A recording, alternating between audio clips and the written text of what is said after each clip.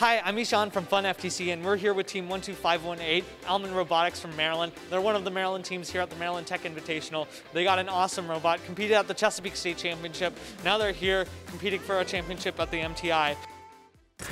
Giving you a voice. Making it loud our own way. Welcome, Welcome to the fun. We would like to thank our friends at Stryker for supporting Fun so we can continue to make content for you. Stryker makes some of the most revolutionary medical equipment and is a big supporter of FIRST and its participants. If you are looking for an internship or a career that supports you being in FIRST, check out careers.stryker.com to learn more. AFTC fans, are you ready for Freight Frenzy?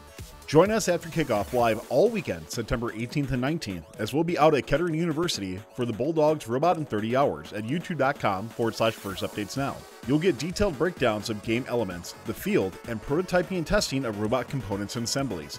Watch live, view short videos after, and ask questions for the Kettering team at youtube.com forward slash first updates now.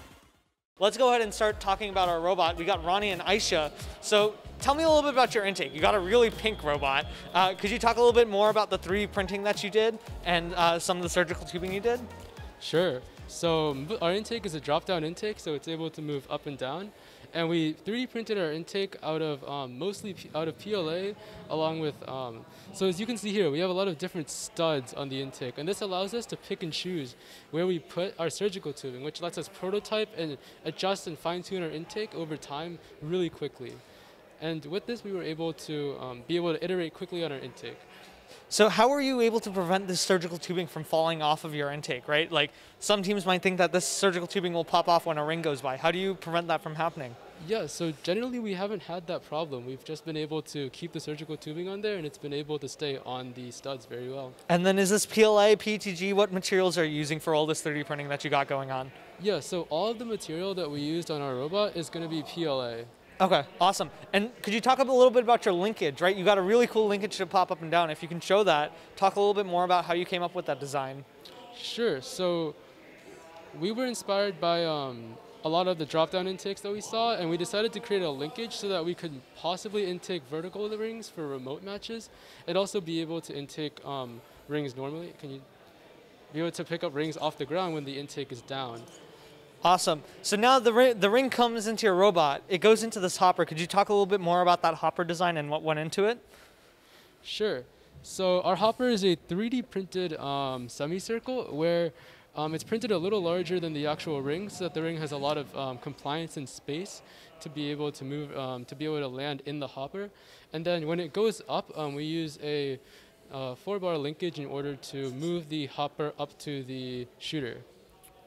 And so did you change up like the length of the bar so then it goes up at an angle? Yes. We were able to choose the pose that the um, actual uh, hopper would be in once it's actually at the shooter.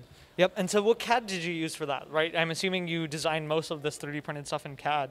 Yeah, so we mainly use Onshape because we found that um, it was really good for rapidly um, developing different um, prototypes and different parts just because of the um, FTC um, parts library and all the things that have already been done using Onshape. Awesome. And now you got your shooter. Could you talk a little bit more about like why you did your shooter like this? It looks like you got a black wheel and a blue wheel.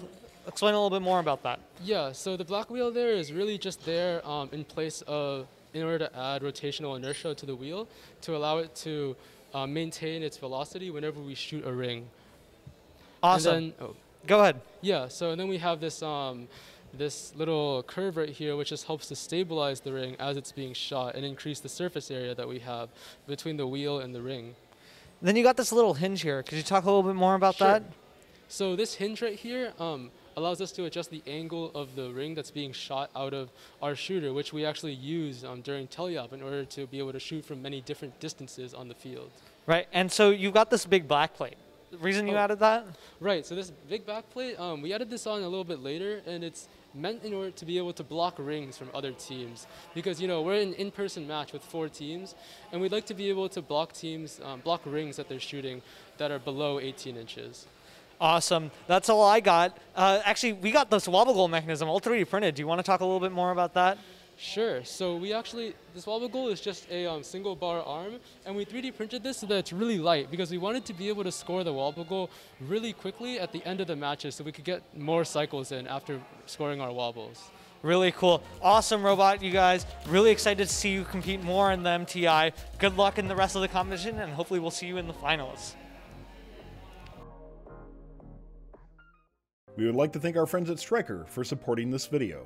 Stryker is looking for current and future FIRST alumni to join their internship program, and FIRST mentors who are looking for a great career with a company who actually supports their FIRST journey. Go to careers.stryker.com to learn more. You can also directly support Fun by joining Fun Nation. Click the join button, and just for a few bucks a month, you'll unlock special perks and directly support us so we can keep making great content. Don't forget to like, subscribe, and ring the bell to stay up to date on our new videos. Keep the conversation going and provide your input to our content. Watch our live shows at twitch.tv forward slash first updates now. Join our Discord at discord.gg forward slash first updates now. And check out Fun FTC on Facebook, Instagram, and Twitter. And First Updates Now on Facebook, Instagram, TikTok, and Twitter.